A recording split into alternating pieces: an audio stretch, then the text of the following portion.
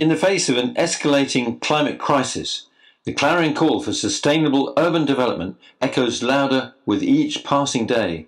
As the bulk of the world's climate damage is caused by cities, solutions must be found in and by cities.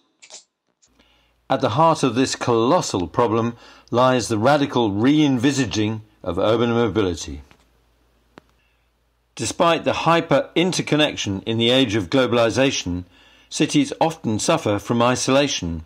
They struggle with accessing information, building relations, growing internal capacity, thereby thwarting their willingness and ability to bring about the sustainable transformation that the planet urgently needs. Urban cycling stands tall as a beacon of hope in the transportation realm and the climate crisis. It is a powerful solution to achieve sustainable, human centric, healthy, community friendly, and economically vibrant urban environments. Cities need to work together in an organised, trusted, and expertly facilitated environment that operates on a daily basis, overcoming isolation and inefficient sporadic collaboration. This is exactly the solution offered by the International Cycling Community of Practice, ICCOP, a daily operating online platform conceived as a powerful catalyst to cultivate relations, dialogue, professional growth, peer collaboration, and expert support. The ICCOP addresses a market that can potentially encompass the entire spectrum of world cities. While that goal is unattainable at this stage, the ICCOP confidently looks at an audience of several hundred cities, having already garnered formal support from several influential city network organizations like Polis, ICLEI, Eurocities, ECF, EIT Urban Mobility, the World Bank, and NACTO. Although originating in Europe, the ICCOP can expand into North and South America, Africa, and Asia, depending on the level of funding secured. The ICCOP does not face direct competition, for communities of practice for cities in the fashion we propose do not exist.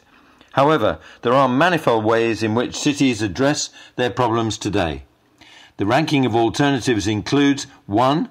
Joining city networks at a regional, national, or international level, 2 piecemeal or sporadic outsourcing of tasks to consultants, universities, service product suppliers.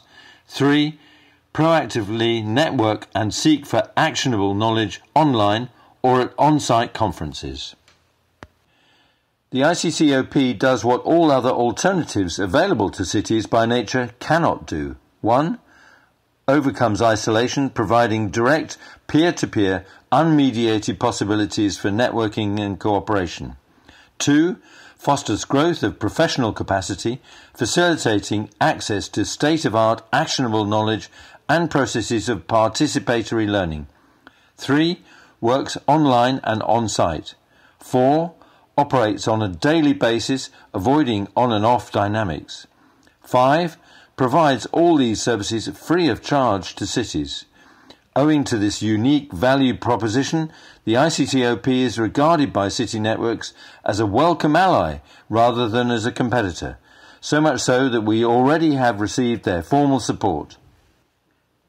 We will reach the market by initially leveraging the vast pool of member cities of the networks that have already pledged to support the ICCOP. The network's operating staff will facilitate the onboarding process. In the scale up phase, we will test additional regional segments, expanding into North and South America and subsequently Asia, Africa, and Oceania. Our leadership team. Isinnova's Mario Gualdi is our director. Lucas Harms, until recently managing director of the Dutch Cycling Embassy, is our outreach coordinator. Meredith Glaser of the Urban Cycling Institute is our scientific coordinator. Pascal van den Noort of Velo Mondial is our city's chief facilitator. And Antonio De Baccio completes the team for communication. Your financial patronage is the keystone that will turbocharge ICCOP's global outreach. We aim to kick off with 150 early adopter cities and 350,000 euros raised funds for year one. We aim to gradually grow by welcoming 100 cities annually and increasing the raised funds by 100,000 euro each year. The ICCOP is a non-profit association.